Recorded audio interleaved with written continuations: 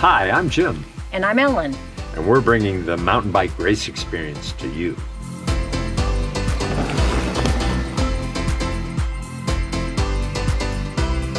Welcome back to our channel. If you're new, I'm Syd. And I am Macky, and on this channel we're sharing the mountain bike race experience with you. In fact, it is going on right It is. If you us. see people rolling by, those are people racing. The Oz Trails Off-Road in Bentonville, Arkansas is the final race of the Epic Ride Series, the premier mountain bike marathon race series in the US. It features three days of racing. A pro-only fat tire criterium on Friday night, amateur races on Saturday, and a 50-mile pro race on Sunday, which has a $60,000 cash purse. Today Kinda is weird. day two of the Oz Trails off-road. If you haven't seen our video of Macky racing the Fat Tire Crit, that happened yesterday. There'll be a link somewhere. Over here. Um, Think. No, today over there. is pretty exciting because both of my parents are racing the amateur races. My name is Jim. I'm Syd's dad. I'm Ellen, Syd's mom. The way the Epic Rides events work is they have an amateur race day and a pro race day, which is awesome because it allows us to spectate.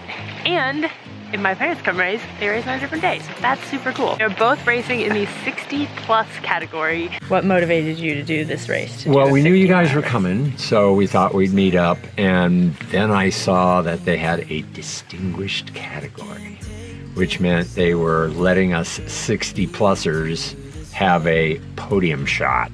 And I thought, oh, wouldn't that be cool? They're really excited to do this event because it has that category. A lot of mountain bike events just have a 50 plus, which if you are in your 60s, you probably know that that's totally not fair. My dad always complains about the young guys. You know, I haven't worked for a podium in a long time because most of the time they're 45 and older.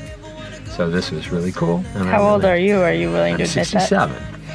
So not getting any younger. My mom is racing the 30 mile. I decided since we were coming here, I'm tired of just sitting around while everybody else is racing, you know, and it gives me a chance to get out on the trails where there's support and people. Because when I ride by myself, I sort of ride short. So I thought I'd try it. My longest race before this had been, I think, 20 miles, maybe 10 years ago. My dad is racing the 50 mile. Which is the one I will be racing tomorrow. Yes, tomorrow. it's the same course. They race the same course as the pros if you do the full distance, and then they also have a 15 in the 30. Trying to give options for everyone, regardless of your ability and experience level and racing experience. Yeah, now we're gonna try to go figure out how we are gonna spectate this race because it's hard to spectate a 50 mile bike race. my. So just we told you guys it was cold. We're gonna have to scrape the window in October in Arkansas. What's up with that? We also have a slight complication, and then we have a flat tire. So here we go. Trying to fix this flat tire. Is it doing anything? Yeah, it's going up. I have more quarters if we need them. Do you think we're gonna make it there in time? I hope so.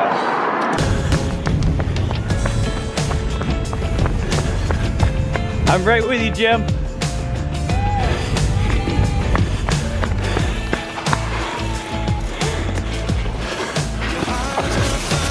All right, go, go, go. Earlier in the year, Ellen and I got a coach, Mike Durner. We just proposed that he get us ready for uh, Rebecca's ride as a duo. And then I asked him if he'd continue working with me while I worked for this event. He had me doing a lot more intervals than I would have thought. And, you know, intervals are something I haven't done in my own training very often. So um, we were doing, I was doing intervals three times a week and one long ride. And that was really nice because it gave me, you know, you know, the interval work is short time. So it was pretty neat to have enough time to do the work around the house, do the things I needed to do, and still get myself pretty much ready for the race. I was uh, in pretty good endurance shape from having trained for the Rebecca's Private Idaho 60 mile gravel grinder, um, which I'd uh, done with Jim, with Coach Sterner. So I felt like I had that. So when we got back to Ohio after Idaho, I started concentrating on getting back on trails because I felt like my trail skills were bad. And I did some interval work on the bike path. Did one 24 miler with some guys where I tried to ride steady. So that gave me some confidence that distance wouldn't be the problem. It would be more other stuff, passing people, falling off, those things.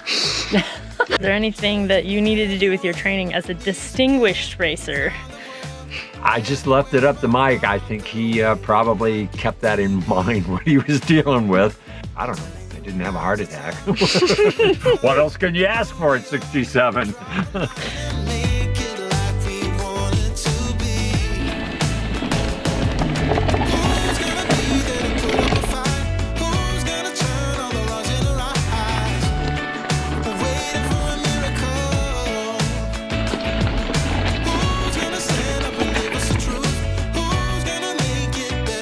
The night before, you're sort of thinking, why am I doing this? I could just be riding for fun and not be nervous and not be in this crowd, and um, this is silly. But I really got into it, and the crowd uh, dissipated pretty fast. I mean, the first section of trail was like a struggle bus where everybody was in back with me or like slipping on the rocks and stopping and everything. But after that, it um, yeah, it was pretty much single file, and the passing wasn't a problem, and it was just a gorgeous day to be on the trail. So it worked out. Like the stress, once you got on the bike, uh, about 10 minutes later, the stress was over. Everybody was struggling. I didn't see, there were not many people talking. It was a pretty silent group of, of warriors out there on the trail. It was really neat because I think Mike sort of elevated me in the group a little bit beyond the normal people where I would have been holding conversations with them. We were, we were quiet in this ride. My race strategy, such as it was, was to ride smooth and steady and to work the uphills because I'm real strong on uphills and to not get all flustered when I blew something technical, which was going to happen. And there's something I'd pre ridden that I hadn't done well a couple days ago. And in the race, I just went right up it. It was like five switchbacks in a row. When I did that sort of near the beginning of the race, I was like, hey, I got it. You know, hard part's over. Um, and, you know, the hard part wasn't over, but it was good to have a little confidence booster at the beginning there. I'm riding an intense primer, which is a, considered a trail bike. It's probably a little heavier than was needed for the, these trail conditions, but um, I'm okay with having 140 front fork and 130 um, in the back. It's nice and comfy for me, and it makes me feel sort of safer. And when I get in rocks, it, it gets me out of trouble. Dropper post, great bike carbon fiber. So even though it's um, you know, got that much travel. It's still really light and nice geometry for me. Just it fits me great. Um, I tried a lot of bikes on, so I encourage people if they're buying a new bike to demo things because you really don't know till you ride them. I rode uh, the flat spots as fast as I could.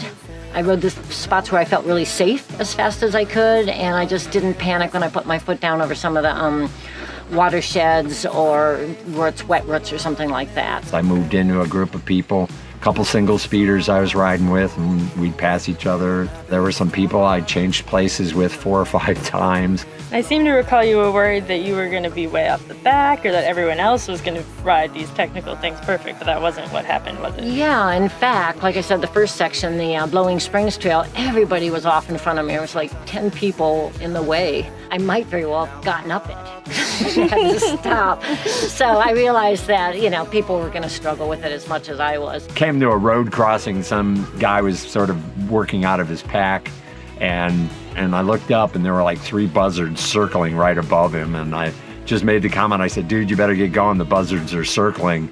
And he looked up and and uh, smiled, and you know, about five minutes later, he comes grunting up to me and he passes me and he goes, "You know the story about the bear?" And I just, if you haven't heard that story, it's basically you don't have to worry about the bear unless you're last. And so as he passed me, that was his comment, and I thought that was really funny. I'm really in good shape for the uphill, so that was fun to just pass up the um, middle-aged guys on the uphills, and then just give them a little space when they zoom down because I'm a little um, I'm more cautious on the downhills. I struggled near the end, of course, because in my mind I thought the last seven miles were going to be flatter and easier. I don't know. I thought they were going to be more bike pathy, and they were wet and muddy and horrible. So yeah, the last five miles I looked really bad. Didn't have too many people pass me in that last three, four miles where I fell apart, but Probably would be in trouble with Coach Sterner because I sort of forgot to eat and drink. I drank only maybe uh, two inches of my hydration bottle because it got all muddy and it was hard to grab. I haven't even checked my Osprey hydration pack, but I drank some of that. I only had I had less than one pack of Skratch juice, and I spit out my raspberry fig bar because it was so dry. So really, I did this race on less than a pack of Skratch. I didn't stop at all. I took my jacket off once, and I stopped to give some racer a CO2 cartridge. Um, but I've been training with Jim, and he doesn't stop. Like so, all summer when we were gravel grinding training, we just ri- you just don't stop with Jim. So I wasn't going to stop during this race at the even at the aid station. Woo woo! Can you tilt? I had a great time. Good. Yeah. It wasn't that hard. Good. Yay. Did you try that coconut watermelon? That's oh, Is it good? yeah. Switch because I don't like my. Okay, so I got to be on the podium along with this big bottle of hot sauce, if you see the picture.